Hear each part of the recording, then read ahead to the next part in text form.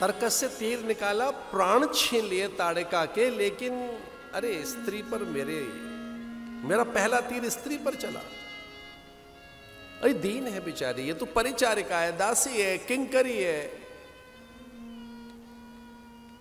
दूती है। ये स्वयं रावण तो है नहीं। हाँ उससे भी अधिक बलशालिनी तो है। भगवान को दया आई, करुणा आई। उन्होंने कहा, जो मुझे मुक्ति अपनी माँ को देनी है, जिस कैवल्य की, जिस साकेत की अधिकारिणी मेरी माँ है, उतना अधिक प्रेम उमड़ गया राम के अंदर, और ताड़िका को वो मुक्ति दे दी राम ने ताड़िका को दीन, जान ते ही निज, पद, दीना। पद, दीना, निज, पद। पद, बड़ा पद मिल गया। बड़ी प्रतिष्ठा मिल गई। ये उनका स्वभाव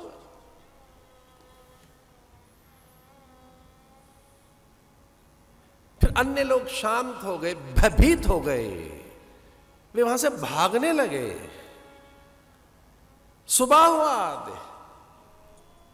मारीच को बाण पर बिठाकर वहाँ तलहटी में भेजा। संकेत दे मैं पहुँच गया हूँ। समूची नैसाचरी जाति में नैराशिश आ गया ये समझ नहीं पाए कि यहाँ ये मारीच कुछ पल भर में कैसे किसने पटक दिया है। रेत में वो औंधा, औंधे मुँह गिरा लंका की रेत में।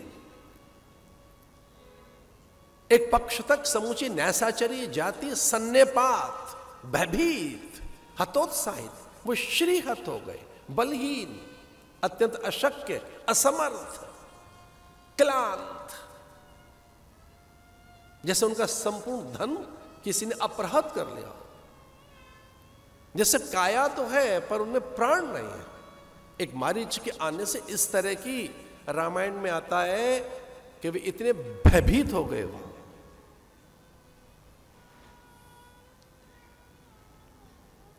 राम को कोप करना नहीं आता।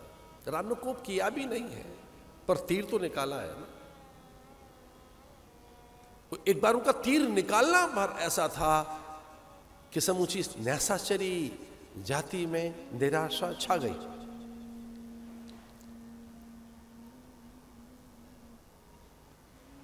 और दूसरे ही पल गुरुदेव ने संपूर्ण अस्त्र शस्त्र राम को सौंप दिए। वे अलौकिक मंत्र से चलने वाले, संकल्प से चलने वाले। निष्कंटक हो गया सिद्धाश्रम। एक इसका अर्थ और भी है। आपके घर में व्यथा हो, दुविधा हो, दैन्य हो, दारिद्र हो, कष्ट हो, शारीरिक पीड़ा हो, किसी प्रकार का क्लेश हो, राम को घर में ले आओ, घर ठीक हो जाएगा। अब राम आएँगे कैसे घर में? या तो रामायण से आएँगे कथा से आएँगे संत से आएँगे संत के श्री मुख से आएँगे। स्कंद पुराण में तो पर सद पद पावन सावन। प्रगट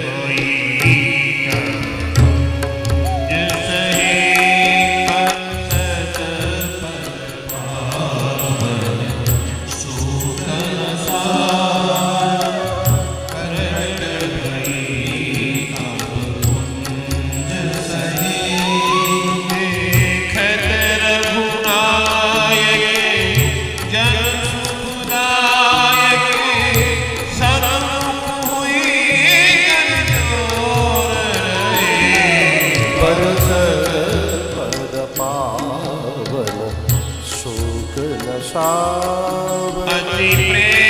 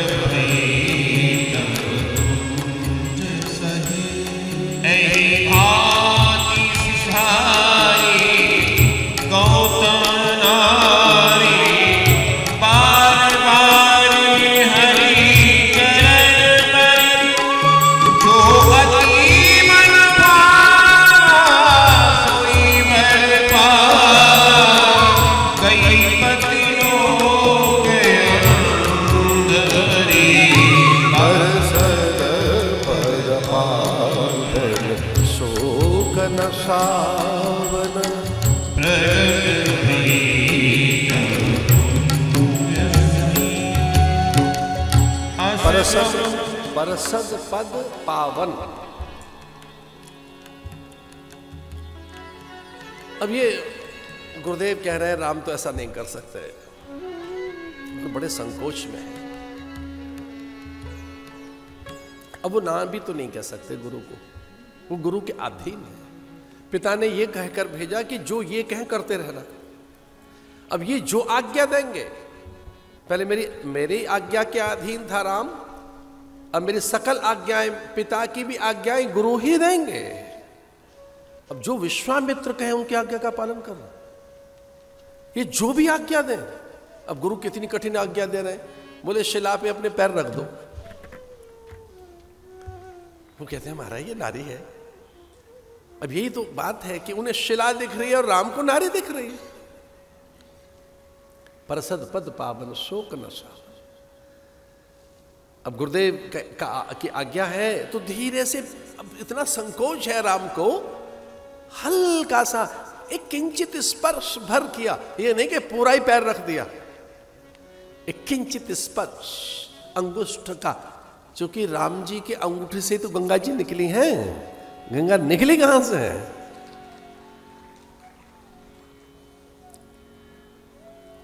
चरण कमल बंदौ हरिराई जाकी कृपा पंग उगरी लंगे, अंधे को सब कच्छ दरसाई।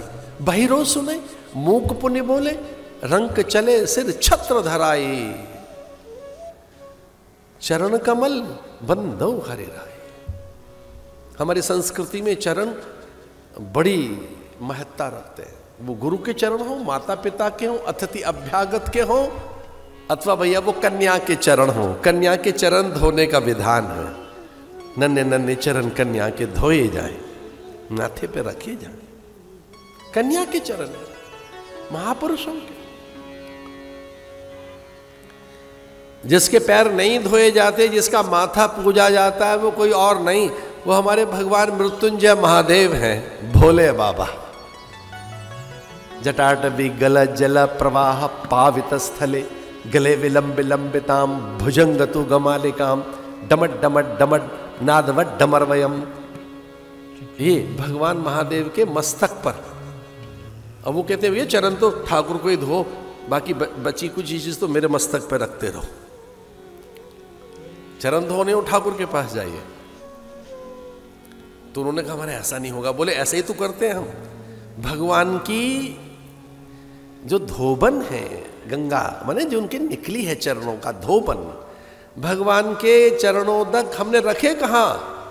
सबने कहा, अपने शीश पर, आप गंगाधर कहलाए, जटाधर कहलाए जटा शंकरी तो बोले, हमने अपनी जटाओं में अपने मस्तक पर किसे रखा है? बोले, भगवान के चरणों के जल को।